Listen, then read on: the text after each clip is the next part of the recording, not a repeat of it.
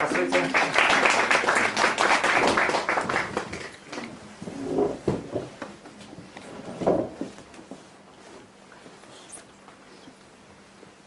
Появились вопросы после вчерашнего? О, тишина, хорошо, все, все понятно. А, значит, если э, будут проводить практические занятия, то вы, соответственно, еще да, будем решать этот вопрос. У меня график такой сложный, но может что-нибудь и получится. Хотелось бы список литературы, который к семинару, вот к практическому, проработать нужно. Это Ну, зависит, это зависит от темы от темы. семинара. То, Что вы хотите? Вот Нужно с сначала решить, энергией. какая тема, а потом уже со списком определяться. Ну да. Алексей Васильевич, а вот вопрос насчет этикета. Откуда это пошло? Вот отношение э, мужчины к женщине как правильно? Это правильно или нет? Но все основывается на полевых взаимоотношениях. И нужно находить рациональное зерно. В чем смысл того или иного этикета? Почему вот так или, иначе поступают? То есть во всем должно быть рациональное зерно. Если этого рационального зерна нет, ну то такой смысл его там э, придерживаться. Допустим, поцеловать ручку там прощание на привет, э, открыть дверь э, перед э, ней. Ну, везде рациональное зерно есть. Ручка, это нужно э, знать э, энергетические точки, проекцию. Ну, э, то есть общую схему знаешь, э, руки, нога, голова, да? У женщины тыльную сторону целует, какую точку? Все понятно. Алексей Васильевич, а вот э, как вчера мы разобрали, так сказать, основное мужское качество ответственность, а теперь сегодня хотелось бы рассмотреть, э, соответственно, женскую сторону, вот поподробнее. То есть какие основные качества и как их вот развивать. Так речь как раз об этом и идет, вопросы именно об этом идут. Так что мы потихонечку тему придерживаемся. То есть без э, э, знания э, а- анатомии человека, без знаний энергетики, без знания звездочтения не разберешься с этикетом. То есть э, знать нужно, как к женщине подходить, как обходиться с ней, как поступать. Это все на этом основано. Вот почему вот женщину приглашают э, к к танцу, как мужчина должен руки держать по этикету? Кто помнит? Так.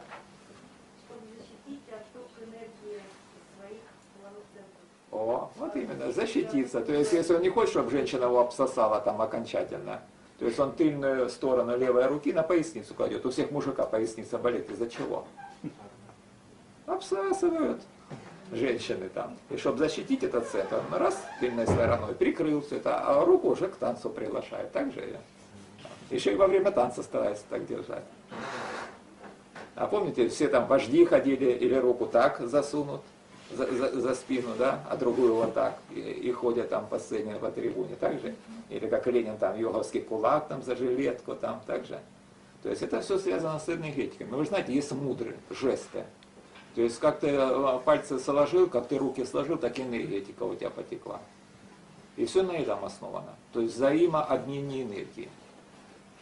И э, если вот этих э, вещей не знать, не разберешься.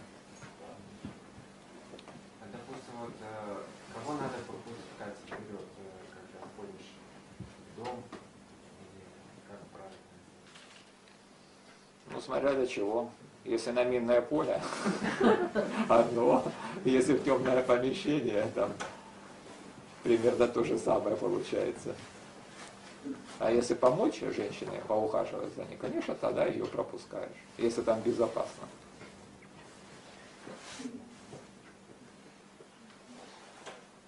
Опять я говорю, нужно рациональное зерно смотреть. То есть с какой стороны женщина должна находиться от мужчины? То же самое. Какой рукой э, мужчина и, э, женщина а, отдает энергию? Вот ты до- должен женщину кормить, значит она должна быть у тебя с правой стороны. Левая она принимает. Вот она должна на твоей энергии жить. Если это твоя супруга, ее достойное место с правой стороны. Это кормежка ее там. Вот она там харчится. С левой стороны она ничего не, не выловит, только тебя будет поддерживать.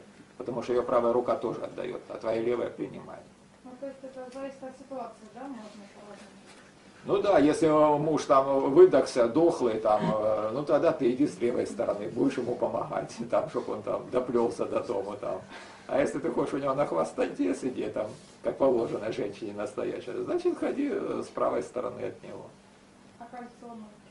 То же самое, если идет объединение у мужчины на правой, а у женщины на левой, это связь. Так же? А вы же должны сковаться одной, связывают рушниками, там, так, цветочком связывают в разных традициях также, или кольцами. То есть вы должны скованы быть. Тогда это супруги. А если ты одела на другую руку, то это значит потеряла супруга. Так же? Ну, рационально, вы смотрите, ради чего все это делается. А в современное у нас наоборот, замужние на правой руке таскают. И с кем они связываются, интересно? Не с мужем только. Это и есть бракосочетание. Хорошее дело браком не назовут. Ну, конечно, э, любой металл, любой минерал является арканом. То есть э, на каких энергиях вы хотите э, заниматься. Ну, Вот и А вот смотри. вообще, там, допустим, на этих пальцах кольца или указательных, вот, вот, какое значение это Ну, это нужно, э, опять же, хиромантию э, знать. Э, В хиромантии там показано, каждый палец с какой планетой связан, с каким органом связан. Все раньше, кто вот чуть-чуть соображал, у них все пальцы в перстнях были. Помните, князей, боярин, да еще с такими булыганами там, на каждый палец, да еще по несколько штук. Ради чего? Ради красоты, что ли, это делалось? Ну, Это- так просто страну оденешь и ни туда, ни тем будет. Ну, естественно, как обезьяны и очки. Можно таскать, не знаю, куда прицепить и что из этого получится. А, а когда человек знает, какие энергетические каналы по этому пальцу идут, он может активизировать тот или иной канал в одно или в другое время. То есть правая рука как дающая, левая как берущая. Что он хочет правильно? Давать или брать? Нет? Энергетика общая как бы идет. На самом деле мы должны быть двурукими. То есть бойцов делали так, чтобы он мог и правой, и левой од- одинаково ловко рубиться там. Тогда правая и левая полушарие головного мозга синхронно работают. А если доминирует какое-то, то это значит уже калека. Уже у него крыша, кажется, едет. То же самое и с женщинам связано. По- Потому что у женщины тоже левая рука берущая, а правая дающая. То есть мужчина дает, женщина принимает. Также женщина дает, мужчина принимает. И у них вот так вот закольцовывается энергия. Женщина могла там что-нибудь вышивает, и вот у нее в одной руке иголочка, в другой пошла. Да. Одинаково ручки работают. Отлично. Тогда и мозги правильно развиваются. Но это с детства надо приучать. Конечно, с самого раннего детства. То есть у детей мелкую моторику с детства развивают, чтобы пальчики ловкие были, тогда и мозги развиваются хорошо. Вот, Алексей Васильевич, такой вопрос. Вот э, женщина, она берегинюшка, да? Вот как вот ей за семью-то, за свою, вот, как славление здесь, или молитвы, или что, вот что она должна делать? Вот в Ну, христианстве там молитвы так ты просишь, да, но просить не- нельзя, это закон, да, не просить. Во-первых, она должна быть сильной. Чтобы что-то сделать, а она должна шахте обладать силой. Э, Силой мы можем обладать лишь только тогда, когда живем, э, вся жизнь посвящена э, общему целому. То, что у нас называется богопочитание. Помните, что это значит почитать? Присваивать энергию. То есть это можно и молитвами, и словами, но лучше всем образом своей жизни. Если она искренне исполняет свои обязанности, тогда она получает благословение рода сверху. И вот тогда у нее чи, вот этой ж- э, э, силы жизненной, будет достаточно, чтобы она мо- могла стать берегиней. То есть на большом расстоянии чувствовать своего мужа, охранять и с помощью там, молитвенной практики э, держать его под э, энергетическим колпаком, чтобы его Что никто вот не уязвил. практика? Что? Что вот это за молитвенная практика? Ну, есть же много заговоров различных, также, Благодарю. которые именно дают э, возможность помолиться за другого человека и отправить ему свою шахти. И э, так как супруги энергетически связанными, она должна вот эту энергетическую связь постоянно поддерживать. То есть у- утолщать эти ниточки, смотреть, чтобы они не ослабели, не порвались. Таким образом она будет мужа чувствовать на любом расстоянии. И э, сможет э, контролировать его судьбу. То есть если муж погибает, значит и ей там не сладко придется. Поэтому в первую очередь нужно свое шахте тратить, чтобы э, мужа спасти. То есть помните, мы говорили, что женщина это лодка, а мужчина тот, кто на веслах. Вот она вот эта лодка, это и есть, которая поддерживает его на плаву. Она берегиня для него на по- полевом уровне. Так они взаимо друг друга дополняют. Но без шахти это сделать невозможно, без достаточной силы. А силу мы получаем лишь только исполняя свои предписанные обязанности. Ну и чтобы ум развиваться, нужно 64 искусства владеть, чтобы ум хорошо развит был. Ну и шесть обязанностей жены исполнять. Вот тогда шахти много будет. Алексей Васильевич, спой мантру Лакшми, вот примерно, чтобы знать, как, какая вибрация должна быть и какой ритм, который Ом Шри.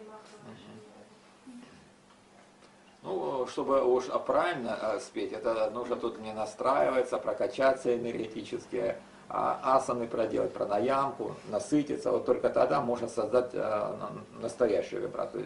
Сейчас могу только лишь примерно показать, как должно звучить. Прежде чем делать, может быть, расскажешь сначала, для чего это и как это? То, что есть люди, которые Ну. Лакшми это Лада Богородица наша. Ом это как бы э, символ Всевышнего, то есть э, звуковое его воплощение. Когда русский человек забудется в лесу, что он кричит? Да, он ау кричит, а, а на самом деле аум. Это вот как раз вот это изначальный слог такой, то есть звуковое воплощение. А, значит, мантра это ом шри. Шри это почтительная приставка, ну широкий, про- а, простирающийся, шри, широкий. да. А, маха это размах, махать, это великий, тоже как почтительная приставка. Он шри маха, лакшмияя, намаха. А Намах – это махать, кланяться, почитать. То есть, если перевести на современный русский язык, это означает «О Всевышний, э, Великий Всевышний, э, проявляющийся э, в образе э, Лады Матушки. Я почитаю тебя». А